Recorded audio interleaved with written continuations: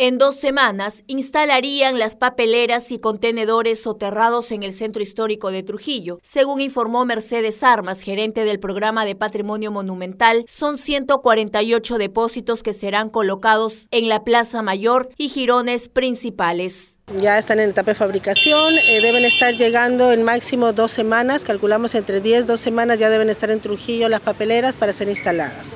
Así que un poquito de paciencia, hay que llevarse los residuos, ¿no? Los papeles, los vasitos y tal a casa, tirarlo en la casa o en alguna papelera, que hay muy pocas en el centro histórico, lo sé, pero un poquito todavía de paciencia y ya están llegando las papeleras nuevas. Respecto a las pintas hechas a las paredes del recién remodelado baluarte de Don Juan Herrera y Valverde, ubicado en la intersección de las avenidas España y Miraflores, la funcionaria lamentó ello y dijo que reforzaron las medidas de vigilancia. Nos notificaron. Es lamentable porque nosotros hacemos un esfuerzo eh, conjunto entre el PAM, entre el SEGAT, servicios generales, para recuperar este baluarte.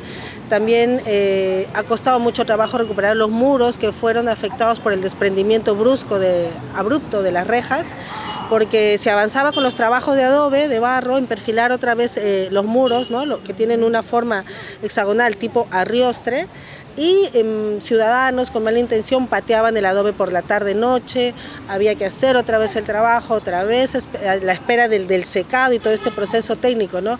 Nos ha costado mucho esfuerzo articulado y, las personas de mala intención no solo han destruido el adobe, sino también en esta ocasión, ya que ha estado pintado, listo para inaugurar, han hecho un graffiti. ¿no?